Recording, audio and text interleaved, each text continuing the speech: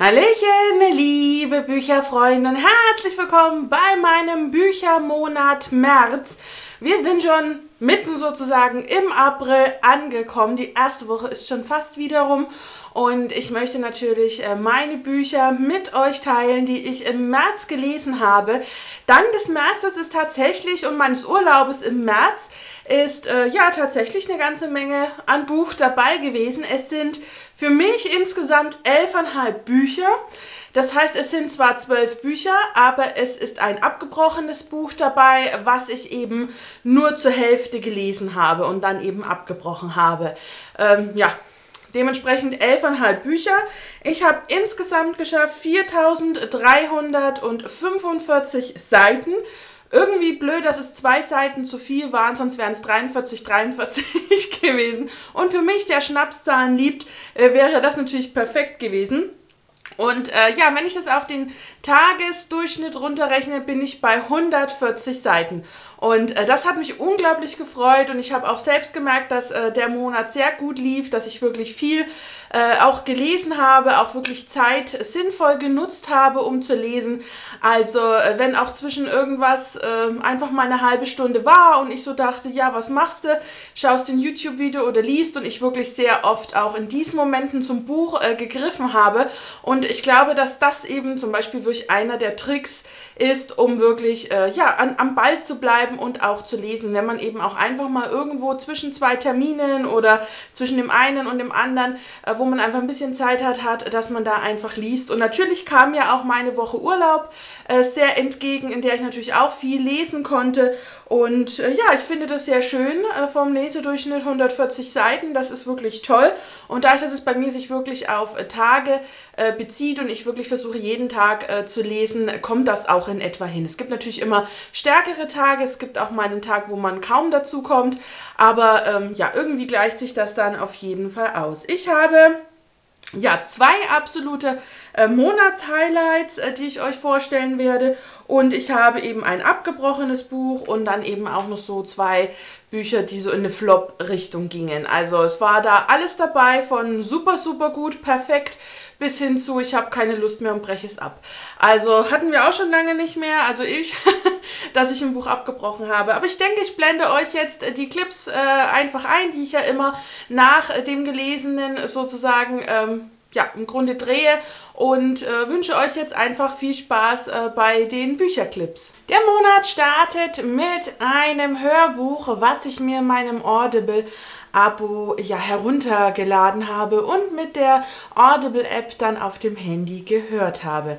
Mein Herz würde ich finden von Jessie Kirby hat äh, insgesamt sozusagen 368 Seiten und eine Hörbuchdauer von knapp 6,5 Stunden, kostet als Buch 17, als E-Book 15 und als Hörbuch würde es 14,85 kosten. Wird gesprochen von Anina Braun-Miller-Jest, was äh, auch die Synchronstimme unter anderem von Kristen Stewart ist. Aber darum soll es erst gegen Ende gehen. Die Geschichte ist relativ äh, schnell erzählt, denn es geht hier um ein junges Mädchen, Mia, die ihre erste große Liebe Jacob bei einem Unfall verliert und er ist ein Organspender und Mia macht sich äh, nach der Abwicklung der Organspende nach und nach auf der Suche, auf die Suche nach den Organempfängern. Und äh, sie trifft so einige und äh, ist aber besonders an dem Herzempfänger interessiert, weil sie eigen, sich einfach eigentlich die Frage stellt, ob in dem Herzen von Jacob, was nun bei Noah eingepflanzt ist, irgendwie etwas von ihr übrig sein wird. Sie geht also auf die Suche nach Noah, trifft ihn äh, und findet ihn über einen Blog, den seine Schwester äh, geführt hat und äh, hadert dann mit den Überlegungen, ob sie ihm sagt, wer sie ist und ähm, dadurch vielleicht eine Freundschaft oder gar die nächste Liebe aufs Spiel setzt. Ja, das alles klingt super romantisch. Äh, so ging es mir zumindest, als ich den Klappentext las und ich war auf der Suche nach Romantik, auf der Suche nach Schnulz, Gefühl und ich wollte ja ein Feuerwerk der Gefühle sozusagen haben. Das habe ich leider alles nicht so wirklich bekommen. Denn vieles wird kaputt gemacht durch das ständige Hin und Her der Gedanken von Mia. Mia überlegt locker drei Viertels der Geschichte, wie sie es sagt, ob sie es sagt, ob sie es vielleicht nicht sagt, äh, was dafür spricht, was dagegen spricht. Und das ist unglaublich anstrengend. Ähm, ich kann verstehen, dass man auf die Suche nach den Organempfängern geht. Das ist in den USA ja viel einfacher als bei uns, aber Noah hat sich zum Beispiel dagegen ausgesprochen, etwas aus diesem vorhergehenden Leben des Organspenders sozusagen erfahren. Und ich muss sagen, ich fand Mia unglaublich egoistisch und das ist immer mehr durchgekommen, wo ich so dachte, Mensch Mädel, wenn er nicht will, dann reiß dich doch mal zusammen. Klar ist dann natürlich, dass sich beide mehr oder weniger irgendwie ineinander verlieben, dass da irgendwas passiert, sonst wäre die Geschichte ja relativ früh äh, auch beendet gewesen. Und es war eigentlich eine wunderschöne Geschichte, dieses, äh, wie sie sich kennenlernten, ähm, dass das mehr Zufälle waren und dann wirklich, dass man irgendwie spürt, die beiden zieht etwas an, aber es wurde eben immer unterbrochen von diesem ständigen Hin und Her in Mias Kopf. Und das fand ich unglaublich schade, weil da gar kein Platz war, dass Gefühle wachsen konnten dass das Feuerwerk sozusagen entfacht werden konnte. Es wurde immer so im Keim erstickt. Kaum dachte man, ach ja, jetzt geht's los. Wumm, kam wieder so ein Gedankensprung. Das hat mich unglaublich gestört. Es ist eine schöne Geschichte, definitiv. Und ich finde auch die Thematik sehr schön, sehr interessant. Und gerade weil es ja in den USA tatsächlich möglich ist und sich da ja auch Paare gefunden haben oder Freundschaften entwickelt haben, was ja in Deutschland nicht so machbar ist, finde ich das sehr schön, sich damit äh, zu beschäftigen und auch den Gedanken äh, zu haben, ist denn irgendwas von dem, der die Organe spendet, dann tatsächlich im Empfänger übrig? Ja, das kann man natürlich so jeder denken, wie er möchte, aber es war schön, darüber nachzudenken. Und ich wollte, wie gesagt, Gefühle, ich wollte Herzschmerz, ich wollte lachen, ich wollte weinen und mehr als einen Schmunzler gab es leider nicht. Das fand ich echt unglaublich schade, weil ich mir so viel von der Geschichte erwartet habe und ich greife ja sehr, sehr selten zu einem schnulzigen Buch, so dass ich, wenn ich dann hingreife, auch tatsächlich das möchte, was draufsteht und ich hier wirklich enttäuscht wurde. Was aber sehr gelungen war, war das Vorlesen, also jeder, der sich äh, dazu trägt, vielleicht auch das Hörbuch zu hören. Ich mochte die Stimme äh, von äh, Anina Braun-Miller-Jest, meine Güte. Äh, sie kam mir auch anfangs schon sehr bekannt vor, wo ich dachte, irgendwie die Stimme kenne ich. Dadurch, dass ich aber durch die Audible-App ein bisschen schneller höre als die, also als 1, ich glaube, ich höre zwischen 1,25 und 1,5, einfach weil es mir sonst zu lange dauert, bis mir das vorgelesen wird, ähm, ist mir dann irgendwann aufgefallen, Mensch, die klingt doch wie die Kristen Stewart, die Bella aus Twilight. Und so war es tatsächlich. Ähm, wenn man dann wirklich auf normale Geschwindigkeit geht, hat man sehr gut gehört, gerade auch wenn sie den Namen Jacob ausspricht, der ja auch nicht weit entfernt liegt von Twilight. Und ich kann mich auch erinnern, dass diese Stimme äh, die Hörbücher von Twilight gelesen hat, was ich unerträglich fand. Also ich muss sagen, jetzt sind ja vielleicht doch schon zehn Jahre vergangen, acht Jahre wann waren die Twilight-Hörbücher? Es könnte so in etwa der Zeitraum gewesen sein. Und ich muss ehrlich sagen, dass ich äh, damals wirklich nur, ich glaube, Band 1 und 2 hören konnte und dann gedacht habe, oh, das ist ja unerträglich. Das Gefühl hatte ich hier gar nicht. Es war eine sehr spritzige, lebendige, sehr angenehme Frauenstimme, die wirklich Spaß gemacht hat, die nicht so quietschig war und die auch so die Dialoge sehr schön geführt hat, dass man wirklich gespürt hat, dass da eben zwei äh, beteiligt sind an dem Dialog oder auch mehr Menschen. Und das hat sie wirklich ganz, ganz toll gemacht. Also sprachlich absolut eine Sprecherin, wo ich denke, da kann man mal gucken, was sie noch so ein bisschen spricht. Das Buch an sich war okay, aber es war jetzt nichts, was mich vom Hocker haut oder dann wirklich mich tief mitreißt und ähm, ja, mich gedankenvoll sozusagen ins Leben zurückgeworfen hat. Man war leider viel zu realistisch bei dieser Geschichte und ja, das fand ich persönlich wirklich sehr, sehr schade. Und weiter geht's mit einem E-Book von Chris Wagner von Sterbenden Engeln aus seiner ewigen Reihe. Es ist das vierte Buch dieser Reihe. Es handelt sich hier um düstere, spannende Kurzgeschichten und mir wurde das Buch äh, liebenswürdigerweise zur Verfügung gestellt. Es hat etwas über 80 Seiten, zumindest auf meinem Reader. Und ich hatte die Kurzgeschichte im Nu gelesen. Ich mochte schon die beiden, also zwei von drei Büchern habe ich von ihm schon gelesen. Und ich fand die Idee dieser ewigen super spannend und habe schon mit Simon äh, ja, mitgefiebert. Hier begleiten wir eine neue ewige, Thyri. Und dieses Mädchen oder junge Frau, äh, ja, ist eben auch eine ewige und lebt, äh, ja, so Mittelalterzeit, würde ich jetzt vermuten. Ich glaube, der Jahrgang stand irgendwann mal da. Ich habe es mir leider nicht gemerkt. Und äh, wir sind gerade dabei, dass sich eben die Protestanten bilden und sozusagen von diesem römischen äh, Reich äh, ja weiterentwickeln in eine andere Glaubensrichtung. Es gibt viel Böses, es gibt äh, sehr viel Religionskrieg, es gibt äh, ja die Hexenverbrennung beginnt und dazwischen ist eben die äh, Tyri die sich äh, ja unter dem Tarnmantel von einer Magd sozusagen versteckt. Denn eine Magd ist etwas wie ein Möbelstück, sie wird nicht angeguckt, sie ist einfach da und hat ihre Arbeit zu leisten. Doch äh, ja, das ist nicht alles, was wir von ihr erfahren, dass sie eben eine Magd ist, sondern sie trifft scheinbar auf einen Engel. Und äh, ja, da bekommt ihre Geschichte, ihre Bedeutung, ihre Fragen, die sie hat, äh, eigentlich eine Antwort, denn vielleicht sind die Ewigen auch Engel und äh, wir erfahren eben auch etwas zu den Engeln und dann eben auch zu den Ewigen. Es werden einige Fragen beantwortet und wir sind in einer sehr düsteren, packenden Zeit. Ich mag Tyri. Ich fand sie unglaublich sympathisch. Sie ist um einiges wärmer und näher bei mir als Leser als es Simon war, dessen Geschichte ich aber auch schon toll fand. Aber man spürt eben, dass hier einfach so ein weiblicher Charakter da ist und eben auch ein bisschen Gefühl und ein bisschen Gespür und ein bisschen Wärme übertragen wird. Und das fand ich als Leserin sehr, sehr gut gelungen. Das hat mir total gut gefallen. Es war eine perfekte Mischung aus düster und es war unglaublich spannend und mystisch und ich fand toll, dass eben Fragen beantwortet wurden, aber sich auch Fragen wieder aufgetan haben. Und ich äh, war eben auch von, den, von dieser Wortgewalt, die Chris Wagner verwendet, sehr, sehr begeistert. Es klingt alles so irgendwie, ja, poetisch und trotzdem ja, und trotzdem eben so dieses gewisse Etwas und eben nicht too much, sondern ja, es, es hat einfach so gepasst. Es hat zu dieser Zeit gepasst, es passt zum Charakter von Tyri und es passt einfach so rundherum zu diesem Flair, zu dem Setting der Geschichte. Und das fand ich wirklich sehr, sehr gelungen. Es hat mir unglaublich viel Spaß gemacht, das zu lesen. Ich habe auch zwei Zitate äh, herausgesucht, die ich ganz, ganz toll fand. Äh, beginnen wir mit dem ersten. Religionsstreitigkeiten waren seit jeher der ideale Nährboden für die dunklen Mächte. Finde ich sehr geil und passt auch in die heutige Zeit, finde ich, sehr, sehr gut hinein. Und dann, aber das Böse existiert nicht wirklich. Das Böse ist nichts weiter als die Abwesenheit des Guten.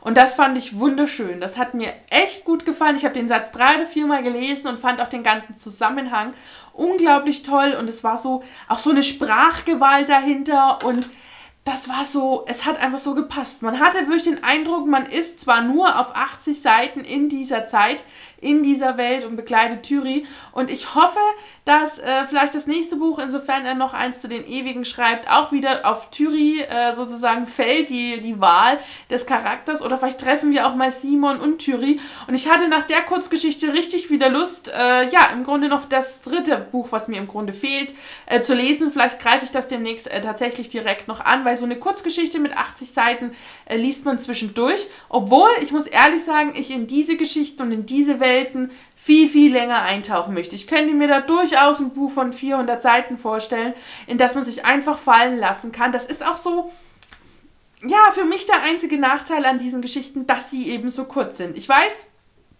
es ist eben eine Kurzgeschichte, aber irgendwie möchte man mehr und man will es länger spüren und man will länger dabei sein. Und das ist so das, was bei mir so ein bisschen Ärgerabzug sozusagen gibt. Chris, wenn du dieses Video siehst, ich will längere, dickere Bücher. Und ja, jeder, der Kurzgeschichten mag oder was Düsteres, Spannendes, Mythisches, der sollte einfach mal zugreifen, sich das Buch einfach mal äh, besorgen, weil es wirklich absolut sein Geld wert ist und ich es wirklich sehr gut fand. Die Diamantkrieger-Saga Teil 1 Damirs Schwur von Bettina Belitz wurde mir vom CBT Verlag zur Verfügung gestellt, ist am 22. Februar erschienen, kostet als E-Book 17,99, nein, 13,99 und als normales Buch 17,99, hat 448 Seiten und ist der Auftakt einer neuen Trilogie von Bettina Belitz. Ja, ich kenne tatsächlich so ziemlich jedes Buch, mehr oder weniger von Bettina Belitz. Fand damals die Splitterherz-Trilogie wirklich sehr gelungen, mochte ich sehr und auch in diesem Buch spürt man den Schreibstil von Bettina Belitz.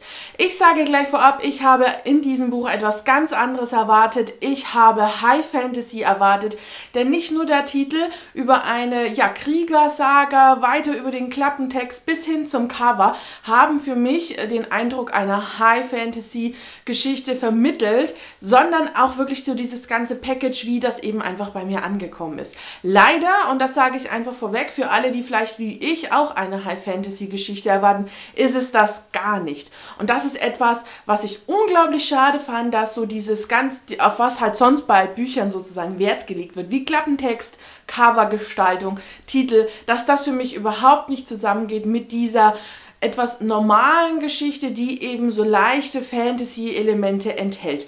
Und ich bin mit einer ganz anderen Erwartung rangegangen und war dementsprechend dann schon ein bisschen verwirrt, als es gar nicht in diese Richtung gegangen ist. Aber jetzt, um was geht es in der Geschichte? Es geht um die 17-jährige Sarah, die ein Doppelleben sozusagen lebt. Auf der einen Seite kümmert sie sich rührend um ihre Großmutter, ist da sehr beherzt, dass es ihr gut geht, dass es ihr an nichts fehlt.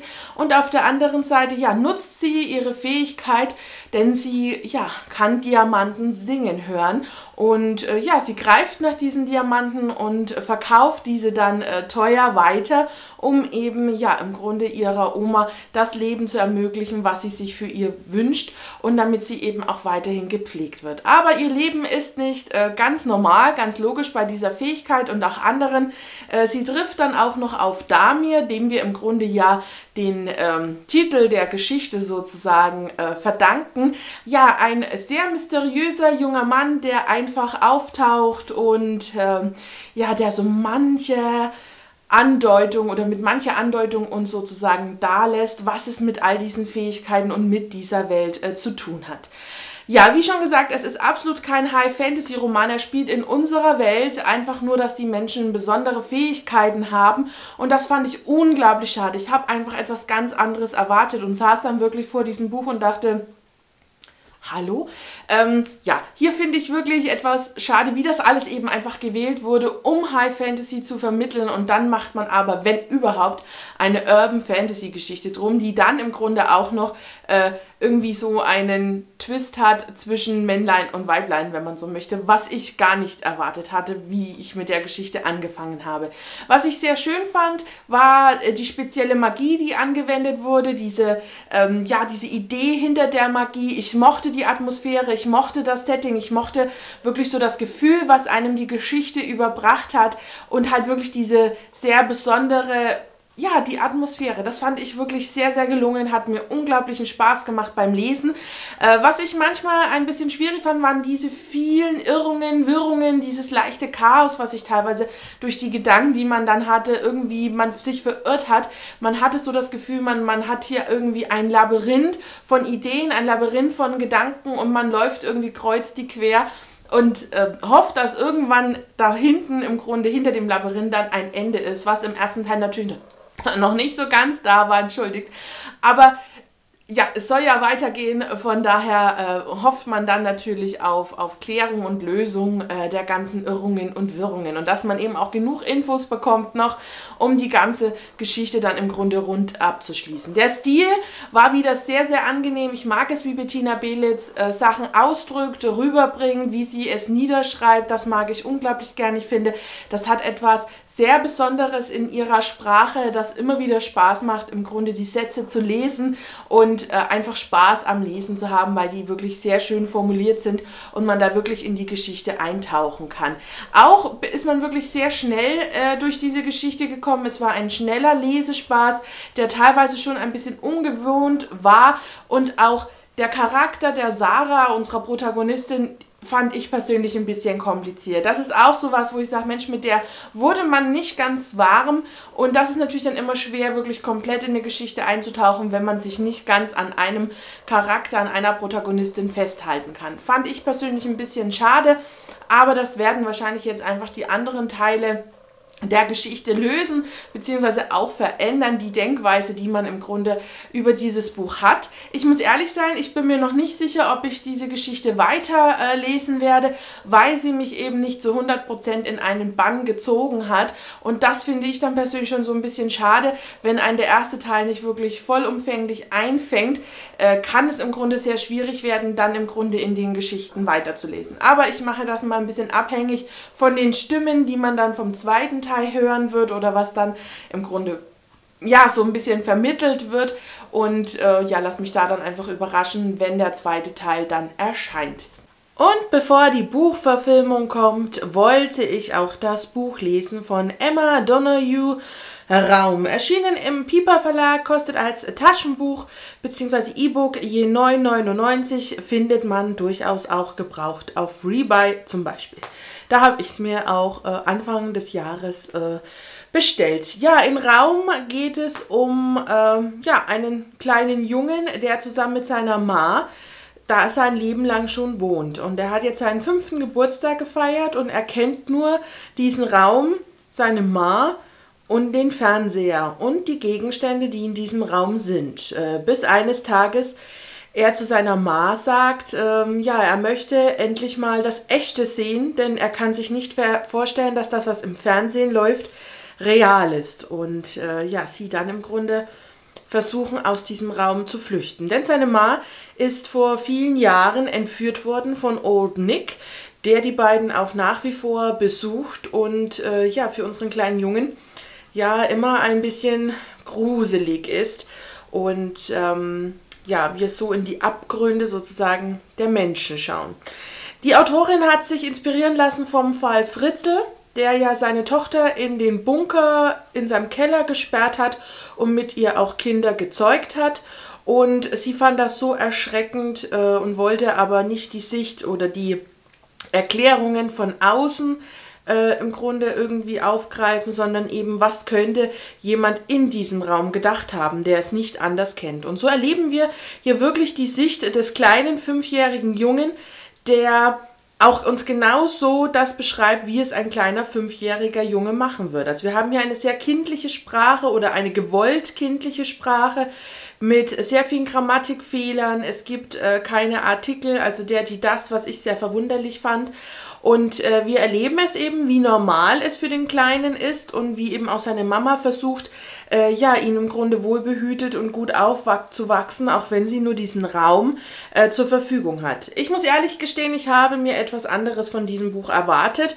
Ich äh, habe wirklich gedacht, dass wir Klommenheit haben, dass wir äh, einfach auch viel Gänsehautmomente haben. Ich habe mir leider etwas komplett anderes vorgestellt, als ich dann bekommen habe. Ich habe wirklich gedacht, wir erleben das Leben auf einigen hundert Seiten von diesem Jungen und seiner Ma und äh, wie dann eben auch äh, vielleicht das Leben darin sich abspielt. Natürlich wäre das nicht sehr interessant, weil so viel Unterschiedliches kann nicht passieren.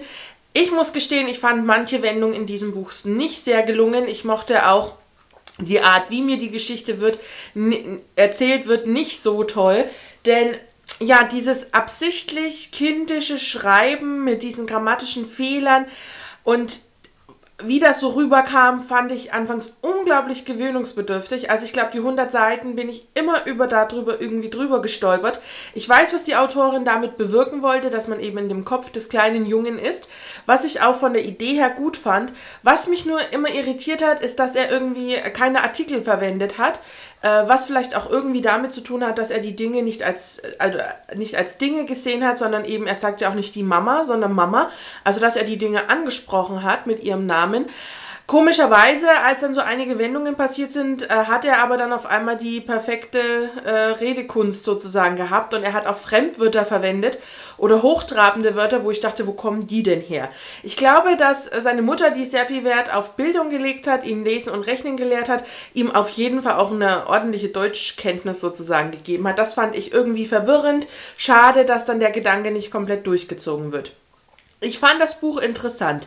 Und das ist genau das Wort. Ich kann mich nämlich nicht für gut oder schlecht in diesem Buch irgendwie entscheiden, denn es hat mich irgendwie schon gefesselt. Ich wollte auch irgendwie wissen, wie geht es mit dem kleinen Jungen und seiner Ma weiter, wie geht es nach all den Wendungen weiter. Aber so richtig drin in der Geschichte war ich nicht. Da hat auch die schlechte Grammatik nichts dran geändert. Es hat mich nicht richtig in den Bann gezogen.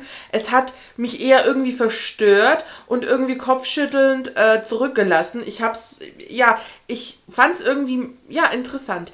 Ähm, es hatte schon Aspekte, die ich sehr gut fand und dementsprechend auch interessant. Die Ideen, dass eben jemand es ganz normal findet, nur in einem Raum aufzuwachsen, weil er es nicht anders kennt, äh, fand ich sehr, sehr gelungen, weil es ist natürlich genau das, was einen gruselt, weil man selbst es ja nicht für normal erachtet.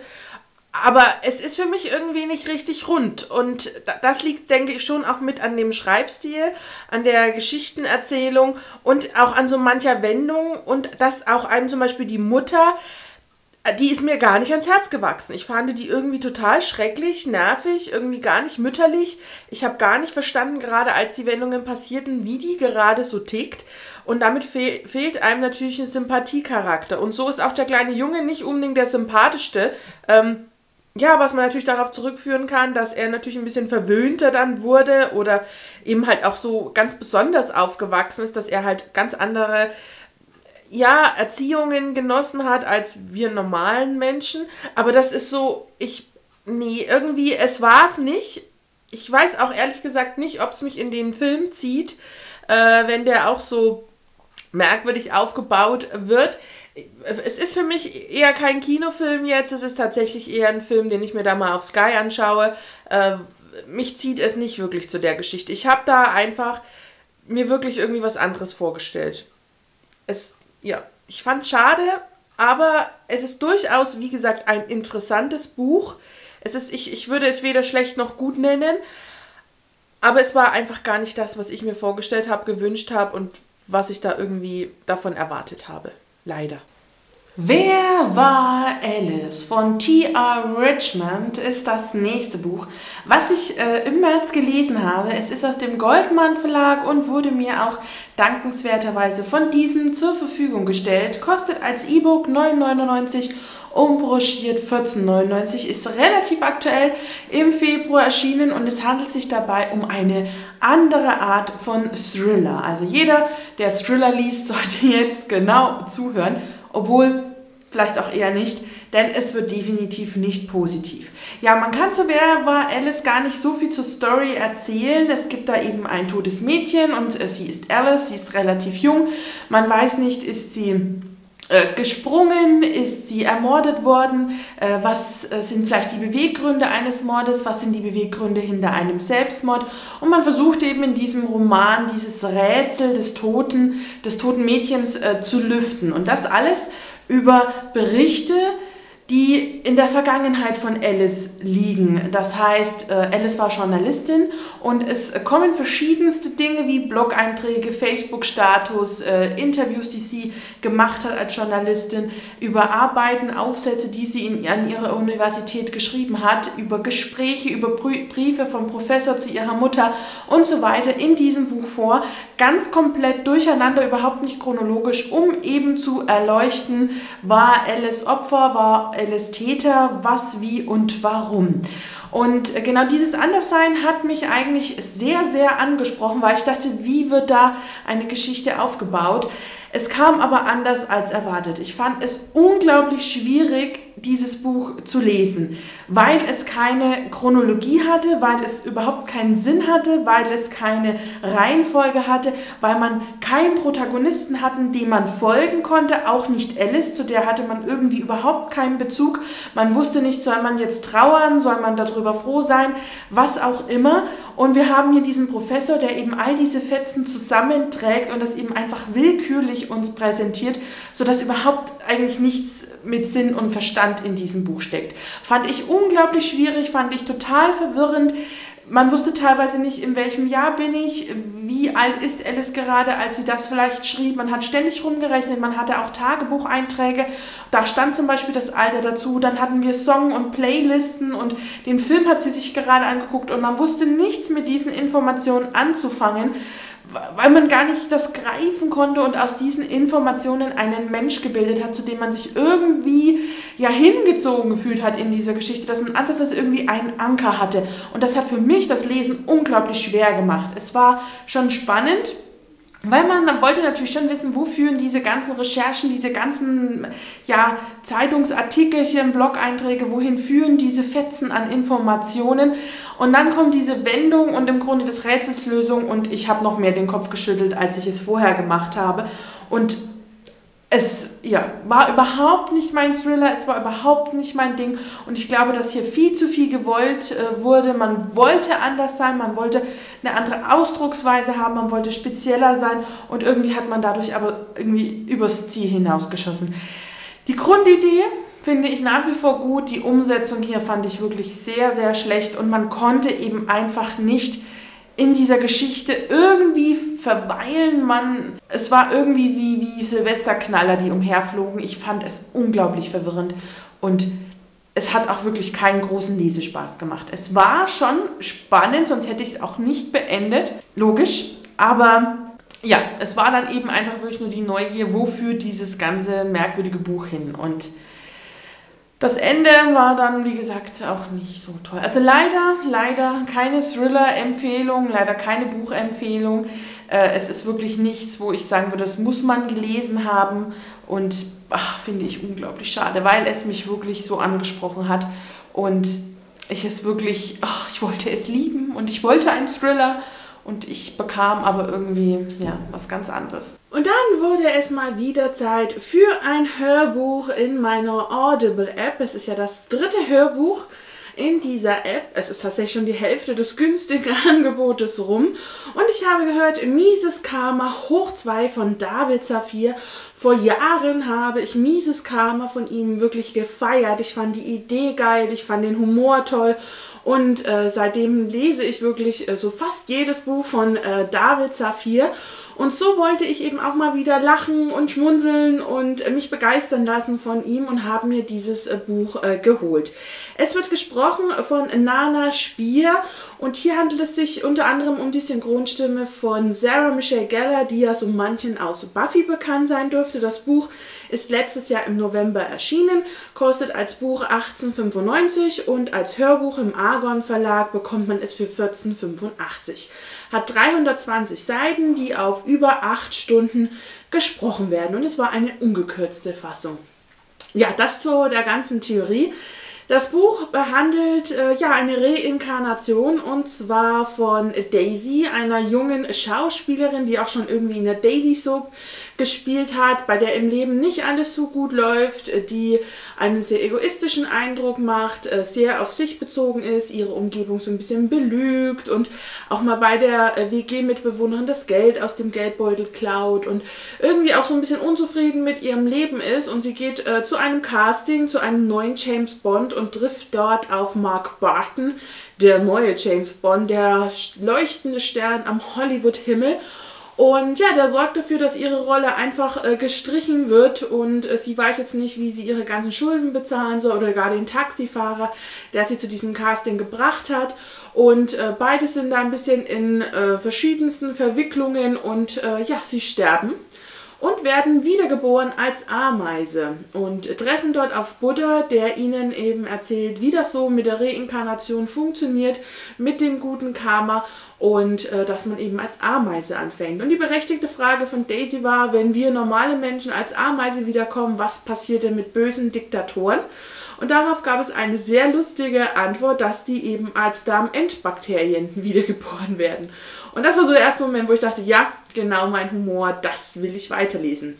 Und so erleben wir eben die Reise der Reinkarnationen der beiden, äh, denn äh, das ist das Spezielle am Mises Karma hoch 2, dass eben beide durch diese Reinkarnationsreise gehen. Sie sind sich beide immer vollkommen bewusst, wer sie sind, was sie waren und äh, dass sie auch irgendwie ja zusammengehören, zumindest was jetzt diese Reise irgendwie angeht.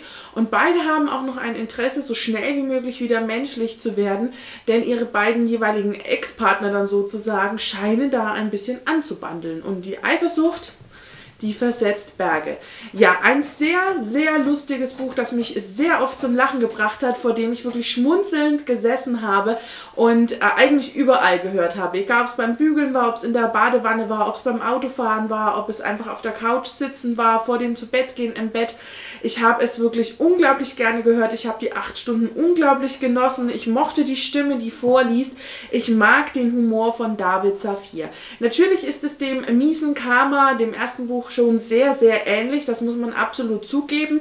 Es ist keine neue innovative Idee, wie es damals bei Mises Karma der Fall war, aber es ist lustig und es hat auf ganz spezielle Weise wieder unterhalten. Es hat einen mitgenommen, mitgerissen und wirklich einfach ja, glücklich gemacht. Und diese Vorstellung der Reinkarnation, dass die so funktioniert, fände ich persönlich ein bisschen gruselig, also dass man sich wirklich als Ameise daran erinnert, dass man mal ein Mensch war, weiß ich nicht, ob mir diese Idee so gut gefällt und äh, dass man dann eben auch wieder andere Menschen wiedererkennt. Aber ich glaube, so abwegig ist diese Idee eben gar nicht und das macht eben auch den Charme dieses Buches wieder so aus, dass David Zafir da etwas doch irgendwie Unmögliches möglich macht und man tatsächlich drüber nachdenkt und sich denkt, ja, es könnte doch tatsächlich so sein. Fand ich unglaublich gelungen. Es kommt nicht ganz an Mises Karma ran, einfach weil bei Mises Karma die Idee einfach so spektakulär war und neu und innovativ. Und das ist natürlich hier schon ein bisschen nachgemacht. Ich meine, es ist sein eigenes Buch, von daher kann er da natürlich gerne ein bisschen äh, einfach das weiterspinnen, diese Idee. Und David Safir beschäftigt sich ja sehr oft mit der Wiedergeburt, wenn man zum Beispiel auch an Mu denkt oder auch an Jesus liebt mich. Äh, man merkt, dass ihn diese Idee schon ein bisschen fesselt, dieser Reinkarnation. Und so, man hat hier einfach unglaublich viel Spaß und es war wirklich super lustig, wenn die Ameisen sind, wenn die irgendwelche Störchkinder sind und so weiter. Ich fand es unglaublich unterhalten und ich habe wirklich manchmal losgebrustet vor Lachen. Und es hat mich gut unterhalten, es hat mich begeistert und auch die Stimme, die gelesen wurde, fand ich sehr, sehr toll. Mir hat sozusagen Buffy vorgelesen, so hatte ich das in meinem Kopf. Und die Stimme ist schon ein bisschen quickly unlebendig, ein bisschen quietschig, aber ich fand sie keinesfalls unangenehm, was wahrscheinlich wirklich daran, daran lag, dass ich eben Buffy vor Augen habe, also Sarah Michelle Geller und mich es dann gar nicht negativ gestört hat, dass ähm, ich könnte mir aber durchaus vorstellen, dass die Stimme nicht jedem sein Fall ist und deswegen sollte man da auf jeden Fall mal eine Hörprobe hören, bevor man sich holt. Dennoch glaube ich, dass das wirklich ein Buch ist, das besonders viel Spaß macht, wenn man es hört, denn auch äh, Christoph Maria Herbst hat eine Sprachstimme und er ist sozusagen immer die Reinkarnation von Casanova und ich fand, das hat einfach wie die Faust aufs Auge gepasst und es war einfach toll. Also es hat mir unglaublich viel Spaß gemacht zu hören, auch die Geschichte hat mir Spaß gemacht und ich habe die acht Stunden wirklich weggehört wie im Flug und es hat mir einfach sehr, sehr gut gefallen. Und nun ein quietschgelbes Buch von Björn Kern. Das Beste, was wir tun können, ist nichts. Erschienen im Fischer Verlag, kostet als Taschenbuch 9,99 und habe ich äh, ja bei einer Lovely Books Leserunde gewonnen und auch mit dieser gelesen. Was hat mich angesprochen? Ja, natürlich das, äh, was können wir tun, um eben so wenig wie möglich zu tun und eben das Nichtstun zu genießen. Und äh, ja, meine Erwartung an das Buch war so ein bisschen eben ein paar Tipps, wie man vielleicht ähm, ja unnötige Dinge besser erkennt und die dann einfach sein lässt. Was habe ich bekommen? Ein Buch, das mir nicht viel gegeben hat.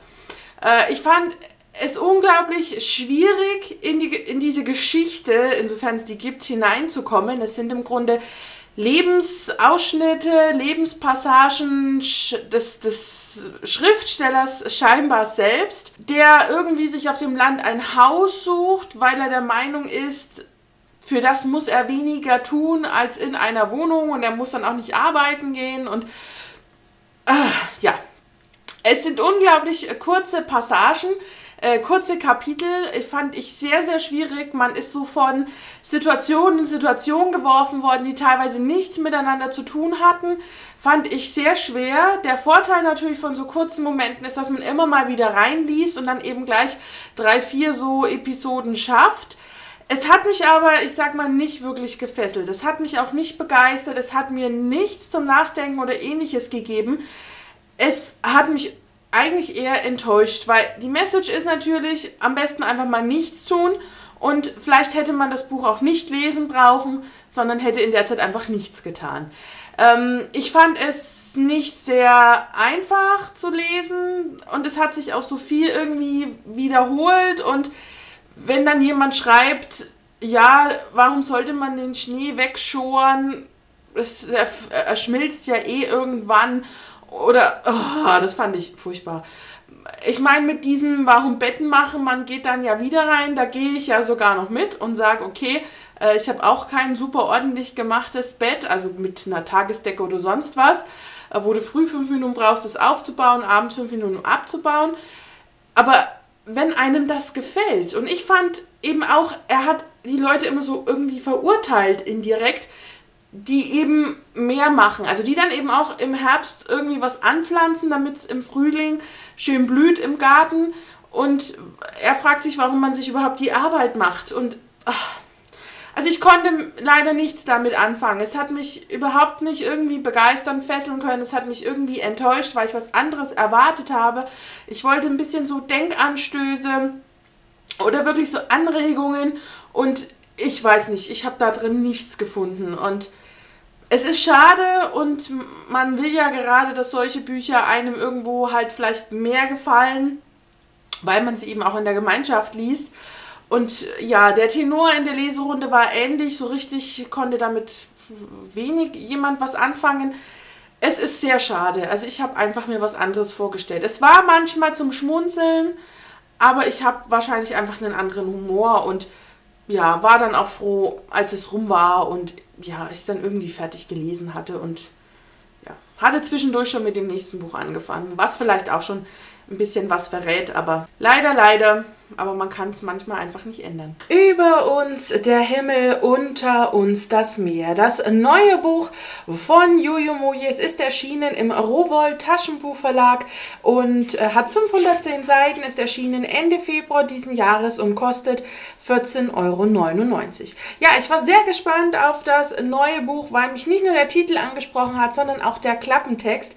Und ja, um was geht es in der Geschichte? Wir begleiten äh, vier junge Frauen, mehr oder weniger jung, auf einer Reise von Australien nach England auf einem Flugzeugträger. Wir befinden uns nach dem Zweiten Weltkrieg im Jahr 1946 und die englischen Frauen Nein, die australischen Frauen wollen zu ihren englischen Männern, die sie äh, ja relativ schnell irgendwie wie geheiratet haben innerhalb des Krieges und äh, wollen jetzt eben ein neues Leben in England beginnen und sie brechen eben ja ihr Leben vorher in Australien ab und wir erleben ihre lange, lange, lange Reise auf dem Flugzeugträger. Die Frauen sind sehr unterschiedlich. Wir haben eine äh, Schwangere unter uns, wir haben eine, die unglaublich gerne flirtet und ein bisschen frecher ist.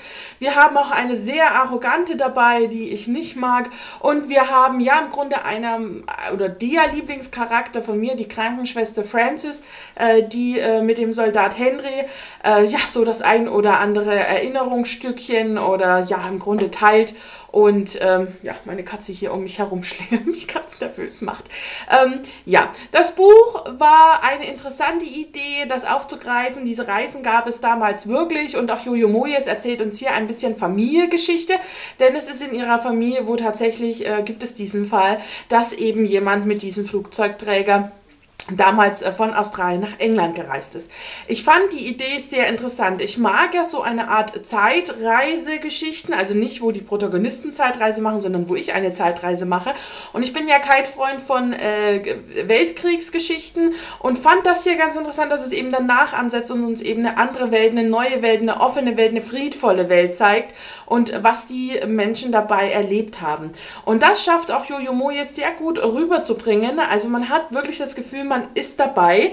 Es ist unglaublich ausführlich und das ist eigentlich nicht der Vorteil, sondern wirklich der Nachteil. Es ist manchmal unglaublich langatmig. Es passiert manchmal auf 80 Seiten überhaupt nichts. Man weiß nicht, warum bekomme ich die Information, warum weiß ich das alles, wohin führt mich dieser Weg und es, es ist unglaublich lang. Also das kann man absolut sagen. Diese 510 Seiten haben sich lange, lange, lange angefühlt. Und zwischendurch hatte man auch manchmal gar keine Lust, irgendwie weiterzulesen und musste manchmal wirklich sich so ein bisschen äh, ja wieder dazu überreden, zu diesem Buch zu greifen, was ich bisher noch bei keinem Jojo Moyes hatte. Das muss ich ehrlich sagen. Äh, der Aspekt, dass unsere Langeweile auch die Langeweile auf dem Schiff äh, darstellen soll, das hat eine liebe Zuschauerin in meiner äh, Bücherwoche drunter geschrieben. Das mag vielleicht der Grund sein, aber ich hätte mir auch ohne meine eigene Langeweile die Langeweile auf dem äh, Flugzeugträger äh, vorstellen können. Was wirklich toll geworden ist, sind die Charaktere. Die sind sehr tief, sehr lebendig, die sind sehr echt und man hat wirklich Bilder im Kopf von diesen Menschen, von diesen Protagonisten. Man, man, man hat man das Gefühl, man riecht die, die Luft an diesem Deck und, und man ist da dabei. Und das hat sie unglaublich gut gemacht, weil wirklich Bilder wie in einem Film vor einen gelaufen sind. Und das hat Jojo Moyes wieder super gemacht. Aber mich persönlich schreckt wirklich diese Langeweile so ein bisschen ab, dafür eine absolute Empfehlung zu geben. Ich denke, für Jojo Moyes Fans ist es sowieso selbstverständlich, dass das Buch gelesen wird. Für alle anderen, die mit Jojo Moyes anfangen, würde ich definitiv ein anderes Buch empfehlen und würde sagen, hm, das ist wirklich äh, so für mich ein bisschen grenzwertig. Also es ist eigentlich der schlechteste Jojo Moyes, den ich bisher gelesen habe und ich finde es wirklich unglaublich schade. Nicht nur, weil es toll aussieht, sondern weil es eigentlich auch so toll geklungen hat, aber es ist für mich jetzt ja im Grunde somit die Enttäuschung ähm, ja, des Monats. Für immer Holly Hill von Alexandra Pilz ist Ende Februar im Heine Verlag erschienen und wurde mir von diesem zur Verfügung gestellt. Kostet als broschierte Ausgabe 16,99 und als E-Book 13,99. Es ist der dritte Teil, ja, um das Holly Hill Zeitreisedorf, wenn man so möchte. Alles begann 2014 mit Verliebt in Holly Hill und ging weiter mit Zurück nach Holly Hill im letzten Jahr. Um was geht es in der Holly Hill-Reihe? Ja, Holly Hill ist ein Dorf in England, das ein Zeitreisedorf ist. Das heißt, dieses Dorf in England reist durch die Zeit und die Bewohner darin reisen einfach mit. Es sind also alles sozusagen Zeitreisende, die in der jeweiligen Zeit eine Aufgabe haben, die sie irgendwie erfüllen müssen, sollen, können irgendwie so.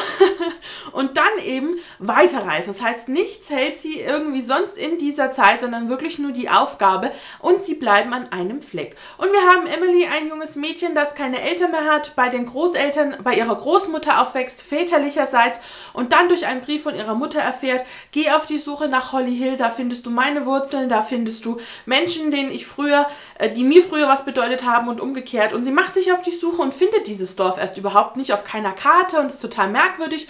Doch dann landet sie in Holly Hill und äh, erfährt eben das Geheimnis um dieses Zeitreisedorfes und äh, lernt die Menschen kennen, die ihre Mutter kannte und äh, ja, und dann eben auch dieses Geheimnis und verschiedene andere Geheimnisse und hat dann eben durch drei Reihen hindurch tolle Möglichkeiten durch die Zeit zu reisen und ist auch in unterschiedlichen Zeiten und ja, es tut sich da natürlich auch die ein oder andere Liebe auf. Man liest es ja am zweiten Titel Verliebt in Holly Hill oder im ersten, im ersten Verliebt in Holly Hill und es war eine tolle Geschichte. Ich habe den dritten Band sehr geliebt und ich fand es unglaublich schade, als das Ende immer näher kam, weil es nun tatsächlich end, der endlose Abschied sozusagen kam äh, dass es wirklich das absolute Ende ist und dass ich Tschüss sagen musste zu dieser tollen Zeitreisegeschichte. Ich mochte die Charaktere, ich mochte die Idee mit diesem Zeitreisedorf, ich, wie auch die so durch die Zeit gereist sind und warum und was es da zu tun gab. Und ich fand das ganz, ganz toll. Ich fand es spannend, ich fand es packend und ich mochte es unglaublich sehr. Und ich mochte auch den dritten Band, der nahtlos mehr oder weniger an der zweiten Geschichte äh, angeschlossen ist, der einen einfach mitgerissen hat, der einen begeistert hat, der einen direkt mit wieder genommen hat in die Geschichte. Die Charaktere, die die einem ans Herz gewachsen waren, waren direkt wieder im Herzen drin und man war einfach dabei und es hat sich so toll, so echt angefühlt und ich wäre unglaublich gern noch viel, viel öfter in Holly Hill und äh, ich finde es toll, wie diese Geschichte dann auch ändert. Was mir persönlich nicht so gut gefällt, sind immer die Titel, die finde ich immer ein bisschen zu viel verraten, äh, was in den Büchern passiert. Ich mochte die Cover, ich mochte die Idee dieses bunten, grellen, dieses irgendwie lebendigen und auch so ist einfach die Geschichte. So war auch der Stil von Alexandra Pilz und ich bin sehr gespannt, mit was sie uns vielleicht dann im nächsten Jahr überrascht.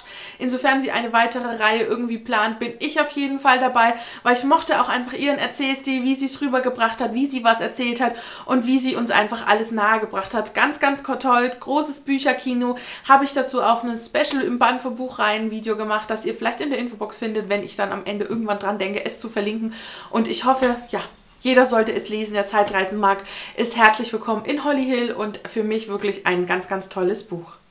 Lieblingsgefühle von Adriana Popescu, erschienen im Piper Verlag. Das Taschenbuch kostet 9,99. Habe ich verschlungen.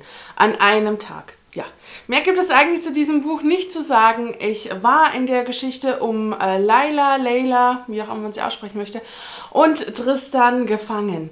Ich habe schon den ersten Band Lieblingsmomente geliebt und es wurde zu einem meiner Lieblings... Äh, Bücher zu einem meiner Lieblingslesestunden und so auch Lieblingsgefühle. Die Fortsetzung und hier geht die Geschichte ziemlich nahtlos an der Geschichte des ersten Bandes weiter. Deswegen möchte ich gar nicht so viel zur Story erzählen. Ich möchte ja keinem spoilern, der Lieblingsmomente noch vor sich hat und es sollte jeder lesen.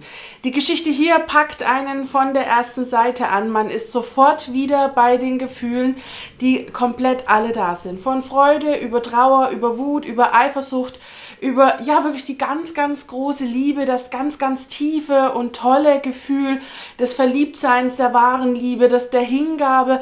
Natürlich gibt es nicht nur positive Gefühle, wir haben auch im zweiten Band ein bisschen Eifersucht, ein bisschen Wirrwarr, aber das tut der Geschichte besonders gut, weil einfach alles drin ist, alles dabei ist und ich habe mich in diesem Buch wieder so wohl gefühlt. Ich mochte die Bandbreite, ja, des Seins in diesem Buch, dass man eben mit, mit, mit voller Kraft, mit, voller, mit vollem Gefühl und voller, ja, Lesensseele sozusagen einfach was empfindet und dabei ist. Und ich mochte auch, wie die Geschichte weiterging. Ich mochte Leila, ich mochte Tristan und ich mag auch äh, Becky, die beste Freundin äh, von äh, Leila. Und ähm, ja, ich, ich mag auch die musikalischen Einflüsse. Ich kann mir ja wie immer keine Namen merken, aber es gibt ja auch einen YouTube-Kanal, äh, der passend äh, zu diesen, ähm, ja, von Thomas äh, Pekram, der zu diesen Büchern ja mehr oder weniger seine Musik beisteuert oder die Musik und die Worte von Adriana Popescu verschmelzen hier. Und ich habe auch eine besonders schöne Stelle äh, ausgewählt, die ich ganz, ganz toll finden, finde. Und ähm, hier geht es so ein bisschen darum in dieser äh, Stelle, ähm, dass man eben einfach Dinge einfach mal tun muss und sich auch dessen bewusst sein muss oder sollte, dass man sie kann. Und ähm, dann heißt es, Schmetterle Schmetterlinge sehen ihre Flügel nicht. Trotzdem haben sie welche. Sie wissen nicht, wie schön sie sind und trotzdem sind sie es. Und Wunder, wunderschön. Ein ganz, ganz tolles Buch, was ich denke mein absolutes Monatshighlight sein wird, weil es hat mich keins der anderen Bücher so geflasht wie dieses und so begeistert und Adriana hat es wirklich geschafft. Und ich bin gespannt, was als nächstes von ihr kommt und äh, ja, kann dieses Buch absolut weiterempfehlen. Es hat ein bisschen was über äh, 400 oder an die 410 Seiten und ich habe es wirklich geliebt. Elata, das Herz der Magie von Rachel Grain war das nächste Buch, an das ich mich sozusagen gewagt habe. Es ist erschienen am 8. März im CPT Verlag, wurde mir auch von diesem zur Verfügung gestellt und hat 528 Seiten, kostet broschiert 12,99 äh, und als E-Book 9,99. Hinter Rachel Green verbirgt sich eine bekannte Autorin, die hier ein Pseudonym nutzt. Leider habe ich im Internet nichts dazu herausfinden können, aber ich war natürlich ein bisschen neugierig. Ja, um was geht es in Elata? Wir haben hier eine äh, Fantasy-Reihe für Jugendliche, ich glaube ab 13 Jahre und der Klappentext hat mich damals unglaublich angesprochen. Es geht um Elata, er ist der nicht anerkannte Bastard des äh, Königs und äh, ja, wächst im Grunde mit seinem Halbbruder zusammen auf. Er wird dann äh, des Hofes verwiesen und äh, ja, man trifft ihn dann auf der Hochzeit seines Halbbruders wieder. Und äh, ja, er trifft dort auf Rissa, der, der, die zweite Charakterin sozusagen der Geschichte, die etwas zu verbergen hat, denn in ihr schlummert Magie. Und Magier werden in diesem Reich ja mit dem Tode bestraft. Und ähm, ja, so kommt es, dass Elatar auf Rissa trifft und ähm, er in einen Hinterhalt gelockt wird von Verrätern, die ihm Böses wollen. Und in dem Moment aber Rissa da ist und ja, sich der Konflikt ja, anbahnt sozusagen. Und Rissa eben in sich äh, gerissen ist, wenn man so möchte, ob sie da helfen soll oder nicht. Die ganze Geschichte geht im Grunde ja um diesen äh, Konflikt des Bastards mit der Zauberin, Magierin und ähm, es war unglaublich langweilig. Also ich sage es direkt, ich habe das Buch nicht zu Ende gelesen. Ich habe knapp die Hälfte geschafft, um die 230 Seiten. Und muss wirklich sagen, es ist ein Kinder-Fantasy-Buch. Damit kann ich absolut leben. Oder Jugend-Fantasy. Äh, das lese ich äh, zwischendurch immer mal wieder gerne. Und der Klappentext klang unglaublich spannend. Leider hat sich der Anfang lesen lassen, wie die eine Vorgeschichte von Game of Thrones. Ich kann es gar nicht anders sagen, als das Leben unseres Elatar erzählt wurde, wie er am Hofe behandelt wurde von seinem Vater, sehr liebevoll, von der Nichtmutter, der Frau des Vaters, sehr böse und die Gedanken und dann die Zuneigung zum Halbbruder und all das hat mich unglaublich an äh, Jon Snow erinnert aus Game of Thrones, wenn der eben rückblickend über seine Kindheit erzählt hat oder auch äh, die Mutter seines Vaters sozusagen über ihre Gedanken gesprochen hat. Und da dachte ich irgendwie, pff, okay. Dann fand ich es unglaublich irritierend, dass in einem Buch äh, für, für Kinder ab 13 hier so ganz freiwillig von Bastarden und so gesprochen wird, aber eigentlich gar nicht erklärt wird, was das ist. Und ich mir so dachte, weiß denn wirklich ein 13-Jähriger so auf Anhieb, was das ist und wie das vielleicht was Zusammenhängendes ist? Und das war für mich überhaupt nicht rund. Der Anfang war noch relativ spannend, so die Einführung in die Charaktere, in die Welt, fand ich wirklich äh, sehr gelungen. Man hatte schon so das Gefühl, ähm, ja, man kommt in die Geschichte angenehm rein. Was mich unglaublich gestört hat, war der Perspektivwechsel, teilweise so gefühlt mitten im Satz, mitten im Kapitel, war man auf einmal die andere Perspektive und man hat es manchmal einfach nicht umrissen, dass es so ist. Ich weiß nicht, ob die Anzeige vielleicht damit zusammenhängt, dass ich es auf dem E-Book-Reader gelesen habe. Ich fand es unglaublich schwer, der Geschichte zu folgen und wer bin ich, wo bin ich, was bin ich und wieso. Und ich fand das unglaublich schwer und ich fand es so langatmig und spätestens als ich dann zu einem anderen Buch gegriffen habe, dachte ich mir, okay, passiert mir sehr selten, aber ist eigentlich schon ein Zeichen dahin, dass das Buch mich nicht spannungsmäßig ja, festhält. Und als ich dann bei dem anderen Buch, was ihr dann als nächstes wahrscheinlich sehen werdet, so in den Bann gerissen wurde, dachte ich, warum wertvolle Lesezeit mit einem Buch verbringen, das dir nichts gibt? Und habe es dann wirklich abgebrochen. Ich habe es schwerherzens abgebrochen, weil ich natürlich mir gerne eine ganze Meinung über das Buch bilden möchte. Ich kann jetzt wirklich nur so für die erste Hälfte sprechen, die mich leider nicht gepackt hat. Ich finde es echt schade. Ich wollte, dass es mir gefällt. Ich liebe High Fantasy und hätte mich gefreut. Für mich war das aber nicht rund. Es war nicht spannend. Die Charaktere waren irgendwie zu pluff. Das sind, ich weiß nicht, ich kann es vielleicht nicht gut genug erklären, aber mich hat es einfach nicht gefesselt, mich hat es nicht an den Ball gekriegt und mich hat es nicht mitgenommen in eine andere Welt. Und demzufolge musste ich es leider abbrechen. Ist somit auf jeden Fall das, das, das Schlimmste diesen Monat, wenn man so möchte. Ähm, ja, wie gesagt, es können nicht immer alle Bücher toll sein und dieses war es definitiv leider nicht. Maybe Someday von Colleen Hoover, erschienen im äh, DTV äh, Verlag, jetzt Mitte März, ist das letzte Buch in diesem Monat und es ist wohl meins, eins meiner absoluten, ja, Monatshighlights, wenn es nicht gar sogar dann ein Jahreshighlight äh, wird. Ein Buch, das mich von der ersten Seite mitgerissen hat bis zum Schluss. Das Buch ist eine Empfehlung von ganz lieben Mädels und äh, es kam total unverhofft auf meinen E-Reader und es äh, ging dann noch unverhoffter, dass ich es direkt gelesen habe und eigentlich nicht mehr weglegen konnte und es in zwei Abenden, Nächten, Mittagspausen gelesen habe und so tatsächlich in der Nacht vom 31. auf den 1. März, äh, auf den 1. April fertig wurde. Ja, aber um was geht es in Maybe Someday? Es geht um Sydney, ein äh, junges Mädchen, das äh, ja an ihrem 22. Geburtstag erfährt, dass ihr Freund äh, ein sexuelles Verhältnis hat mit ihrer besten Freundin und äh, sie darüber sehr, sehr bestürzt ist und damit einfach nicht gerechnet hatte und äh, dann aufgegabelt wird auf der Straße von einem anderen, ähnlich altem äh, Mädchen in die Wohnung gebracht wird und dass sie sich da erstmal niederlassen kann und sie äh, da in der Wohnung dann Rich entdeckt, äh, den jungen Mann, der ihr vom Balkon her gegenüber wohnt und dessen Musik sie auf dem Balkon schon immer unglaublich toll fand. Denn er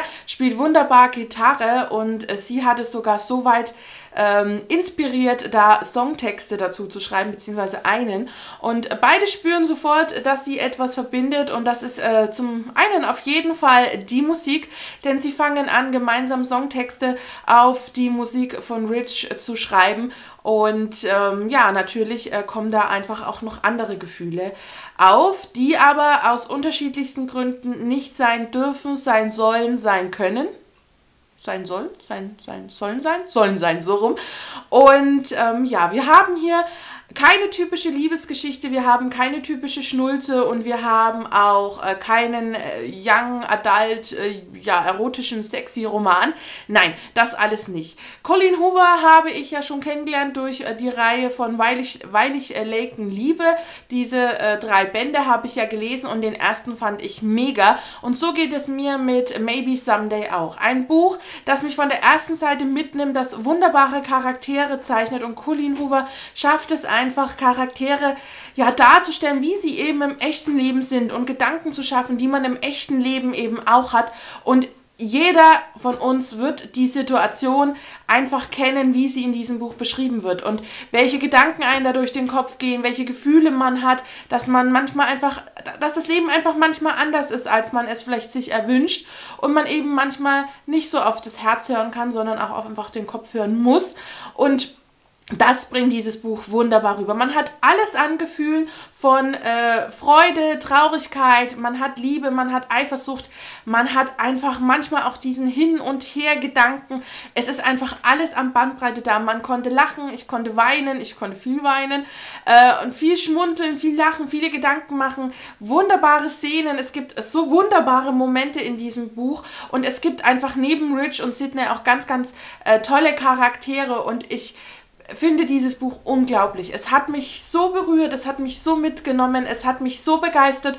Und ich hätte am liebsten direkt das nächste Buch von Colleen Hoover äh, gelesen. Und ich bin einfach drin. Und ich fand es so toll. Und ich mochte die Dialoge und das Setting und die Umgebung. Und ich finde einfach toll, dass Colleen Hoover es wirklich schafft, Menschen in das Buch zu bringen. Also man hat wirklich den Eindruck, dass diese Menschen, dass man die kennt, dass man vielleicht mit denen befreundet ist, dass die einem ihre Geschichte erzählen und man, man fühlt einfach, was die fühlen. Und es zieht einen den Magen zusammen, es lässt einen das Herz hüpfen, es lässt einen weinen, es lässt einen mitlachen und manchmal sitzt man auch Kopfschütteln davon und denkt sich, ach, kann die mal jemand schütteln?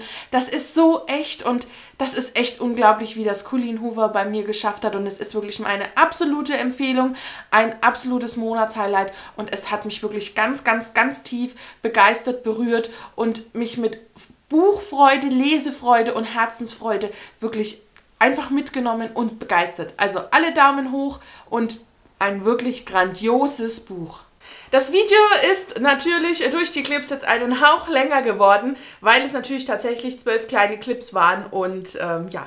Dennoch hoffe ich, äh, dass äh, das ein oder andere Buch auf jeden Fall vielleicht für den anderen dabei war oder es euch jetzt einfach äh, überzeugt hat oder ja, einfach noch mehr dazu angeregt hat, es äh, von eurem Sub wegzulesen oder es ist vielleicht auf der Wunschliste äh, gelandet. Das könnt ihr mir gerne mal schreiben, welches der Bücher euch vielleicht am ehesten angesprochen hat oder ja, einfach welche, welcher, welches Buch vielleicht auch bei euch im März äh, gelesen wurde. Würde ich mich äh, wirklich drüber freuen und ich freue mich wirklich über diesen März, dass der so toll äh, gelaufen ist und gehe mit voller neuer Energie jetzt in den April. Oder bin im Grunde ja schon in den April gestartet. Ihr seht ja dann in der ersten Bücherwoche, wenn ihr euch das anguckt, Samstag oder Sonntag, ähm, ja, das seht ihr ja dann, wie meine erste Aprilwoche gelaufen ist. Und äh, ja, tolle Bücher oder auch eben so die ein oder andere Ausnahme das nicht. Und äh, ja, ich bin happy und ich hoffe, euch hat das Video auch gefallen. Ich würde mich sehr über einen Daumen hoch freuen, wenn es der Fall war und natürlich auch über Kommentare, um sich da ein bisschen auszutauschen. Wünsche euch nun einen schönen Tag, einen schönen Abend und ich hoffe, wir sehen uns beim nächsten Video wieder. Tschüss, eure Steffi.